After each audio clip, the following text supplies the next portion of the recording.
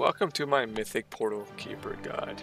Um, let's just go ahead and start with talents. We 3 tank this. Um, we find it much easier. Basically we have two people on the boss and the ads the entire time and then one tank does the platforms and they uh, do the, the other mechanics like carrying orbs around, doing debuffs, and just CC and ads. So for this fight I would highly recommend Abyssal Strike, Fallout, Flame Crash, Fracture, Sigil of Chains, Spirit Bomb, and if you're main tanking, uh, the boss, Soul Barrier, Demonic are both good. Basically, anything that has a lot of ticking damage, Soul Barrier is decent. Uh, Demonic Fusion is really good because the debuff is physical damage, so the more uptime of Demon Spikes, the better. Or Last Resort as a safety net, so any three here could be decent, so whatever you really prefer. Uh, Gear-wise, Again, this is completely dependent on what role you're actually filling. Legendaries, Prydaz would be okay, nothing great. Um, Cloak of Fel Flames would be okay, nothing great. Like I said, a lot of the damage that's going to kill you is physical damage. If you're the third tank, the mechanics tank, honestly, you can use whatever you want. Um, the belt for damage is really good. The pants for survivability is good. The boots is actually really good because there's a lot of AoE. Sephuz is amazing because there's a lot of interrupts. Um, Insignia is great if you have great tier 2 crucible talents for single target damage, and Archimonde is really good for single target damage and see as just a shield. I ended up using um, Insignia and Archimonde, I believe because as a third tank, and honestly what I'm doing is kind of irrelevant. I'm doing the mechanics, so there's really no chance of me dying besides maybe on the poison platform. So my damage is kind of important, but again, I'm always jumping around and going to different platforms, doing debuffs, so it's... Yeah, basically you're like a, CC um, bot is what you're doing, with a little tank. Two-piece tier 20 is good, uh, wherever I have it up here. So two piece your 20 is good. Um, four piece is okay if you have a high level, um, high eye level. Four piece, that's okay. Two piece is okay as well. Other trinkets, um, it's physical damage. I use Demez. Um, you could use Dark Darkmoon cards really good. Withered Heart of Darkness. If you're doing AoE, maybe Warglaives. Or Kil'jaeden's Burning Wish is really good for AoE. So it really just comes down to what role you're filling and what you're looking to do. And consumables, agility flask, agility food, potion of prolonged power or old war, and your rune. So let's go ahead and take a look at the fight. So here we are in Mythic Portal Keeper. Um, like I said earlier, we're going to 3 tank this boss. You can do it with 2, but we found that it's much easier to do it with three. That way all the mechanics are handled properly, so it's easier for everybody else. So I'm actually playing the third tank here. Um, the the, main, the two main tanks on the boss on this fight, are, they do three things. They taunt off at two debuffs. They bring her between star and nipple. And they interrupt and CC the ads. That's all they do for the entire fight. So you're going to see the mechanic part of it. Um, so one tank does all the, the platforms, which is all the mechanics, which is what I'm going to show you. So since I'm not tanking, I let the uh, other tank get aggro. Then I'm going to do burst damage, so Fiery Brand, um, Soul Cleaver, just as much burst damage as I can. Now, the timing on this is based on a current gear set. When we get more gear, this timing is going to change. So, I know that when the first Collapsing World comes, I need to get up into the uh, poison portal. My damage in this fight is irrelevant. We're not doing this for damage. So what I'm going to look at here is the first Fel Barrage Storm is coming, or Felstorm Barrage.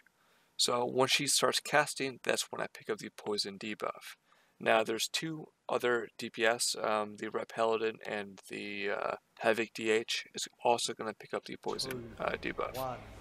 So I'm going to wait till she starts casting, and then I'm going to pick it up. Now what we need to look at is the Felstorm Barrage itself. We can't take the portal down if the barrage is in front of the portal because you're going to get one shot. So we're going to get close and then we're going to watch for the third one.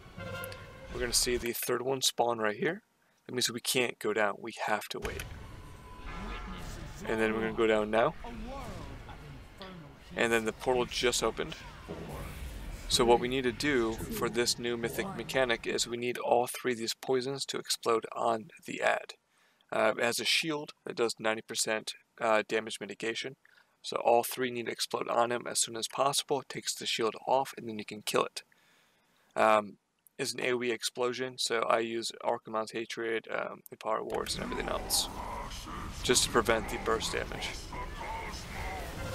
Uh, everybody was stacked up in that. They really don't need to be. They probably shouldn't be, but it doesn't matter. So on Vulcanar, we do a taunt rotation. Called it out. So whenever we see it, I say I got next. I interrupt it. Somebody else says they got next.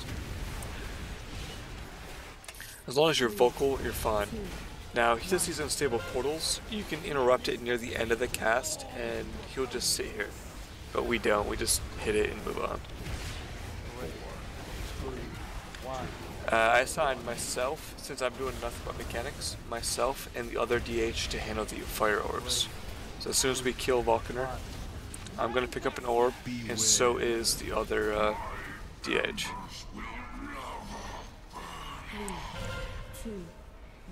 So the biggest part here is again Fel Barrage. I need I'm gonna look to make sure there's no Fel Barrage in front of the portal. If there isn't, I'm gonna go. Now guaranteed this is gonna drop off before I get to the portal, so I'm gonna go away from people over here and then drop it. And then once it's down, I'm gonna pick it back up and place it here. How we have this set up is let me get a better view. He's dropping his fire orb to the right, I'm dropping mine to the left. And I base it on this middle platform here, this little symbol. And if you look here, we have one on each side, so when people land here, we can stand in the middle and then kill it. So never in the middle, not near the portal, just to the sides. And you can do it with one, which find it easier with two to be safe. So at this point, uh, we're just waiting until 60% uh, for the next portal. So what we're going to do is we're on ad duty. We're here to interrupt them, silence them, group them together, and kill them. Because if they get a cast off, you might not die, but if they get two off, it's a wipe. So I'm just here focusing on ads, AoE silences, AoE grips, single target interrupts, all that good stuff. So my job here is not a tank, but is to do damage on the little ads and to CC them. Like I said earlier, Sigil of Misery works, Sigil of Silence works, Arcane Torrent works, and uh, Sigil of Chains, I might have said that already, that also works. So now we just DPS and we wait. Find the portal, go near it. Just DPS interrupt, my Torrent. Drop Sigil Chains, as an interrupt, them together. Uh, if you're to warp this fight, it's between two things. The imps getting uh, explosions off and the poison portal, which you're going to see. So I see right now we're at 66%, about 64-ish. I'm going to go up to the shadow platform. Uh, me and we did two DPS, but I think we can get away with just one, but they have to stagger. So I'm going to get up here. I'm going to look at her health bar. I'm going to pick it up. And then I'm going to go back down. Now, I got lucky here because I Felstorm Barrage. So I'm going to come down here to some CC real quick and then I'm going to go. So how this works, this is the hardest part of the fight. Uh, basically, she's going to put a leech on the five closest people that does 15% of your current HP. And then she's going to heal uh, five times of that damage. So what you do is you get this shadow debuff that's going to explode and put a, a, a debuff on everybody in the circle. And the debuff will make sure everybody is immune to healing, which means she can't leech. So the goal is is to get all the melee in there. And once she casts leech, I'm going to get cleansed. That puts the debuff in the closest people to her, so she can't heal. And the hardest part is you can't get healed either. So you have to use uh, cooldowns and you have to make sure you break the uh, the webbing as soon as possible. And then in between the debuff, the healers need to try to top you off, and then you do it again. So everybody's going to come up here, we're going to group on her. Healers in range do not have to group on her unless they're um, you don't have enough people up here. So here's the Leech Essence, and I just got cleansed as she was casting. So you see this debuff goes out, hits people here. Another immune to healing, which means she can't heal.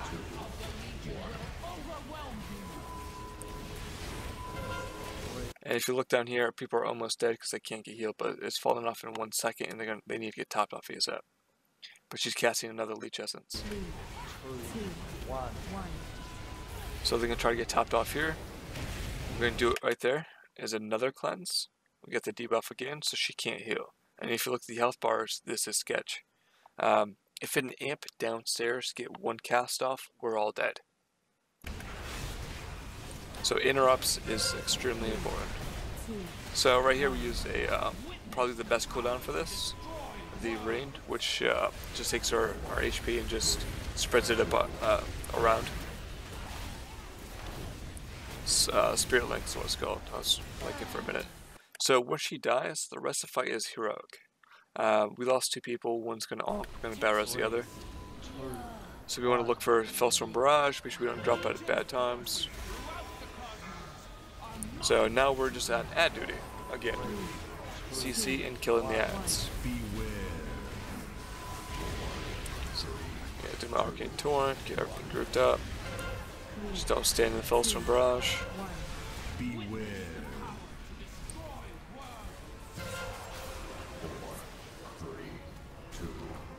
If two imps get uh, cast off, it's probably a wipe. It's that important. So now I'm just going to do passive damage with the next set of ads and the next platform.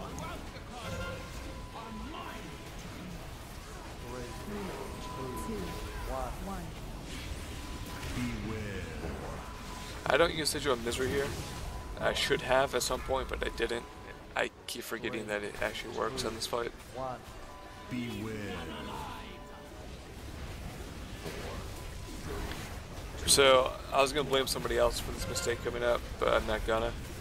Um, some reason I was completely blinking out and thought the Shadow portal opened at 40%. So I called for my uh, portal team to go up at 40%. It's 30%, not 40. So we come up, and then it dawned on me that uh, we're early. So this was this was me. This was my fault. So we go back down for another 10%.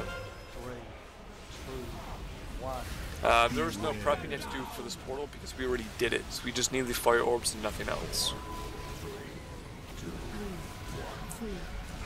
Set up chains, pull everything in, get those interrupts.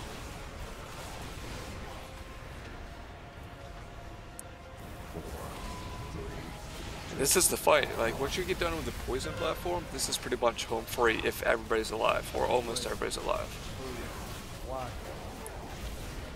So portal's coming, I'm going up early because my damage is irrelevant down there. So we're gonna stack up on top of each other next to a fire orb. And then I highly recommend bloodlusting on this ad. Because the quicker you can get your entire team downstairs, the less likely you're going to wipe. Because again, you have a small team downstairs that's interrupting. If they miss interrupts, it's a wipe. So we bloodlust here just to kill it as quickly as possible so we can get right back downstairs.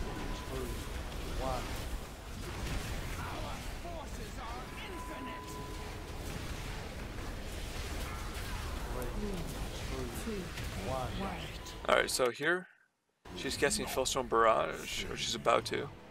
Yep. So basically, these people here can't see down there. So that's not the best position. So I'm staying back here and I can see the floor. So you should stand by the fire and watch. Four, three, two, three, one. Two, one.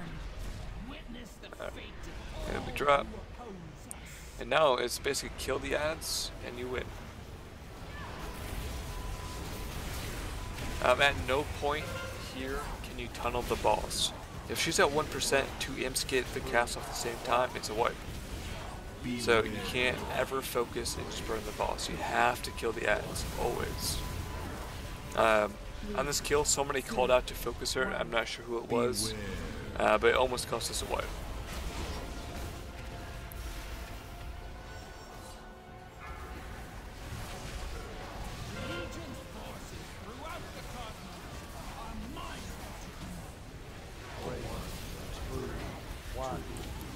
Once again, just an ad duty.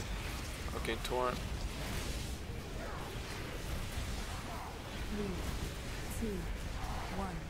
Beware.